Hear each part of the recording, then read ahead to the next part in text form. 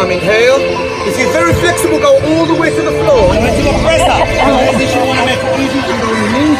Going to go to a position. You stay involved. Here we go.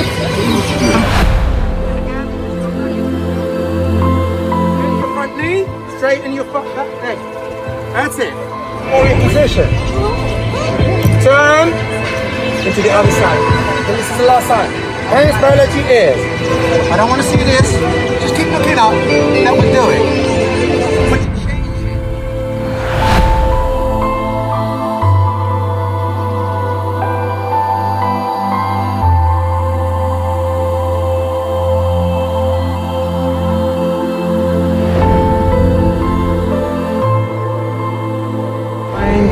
This stillness. This is your true nature.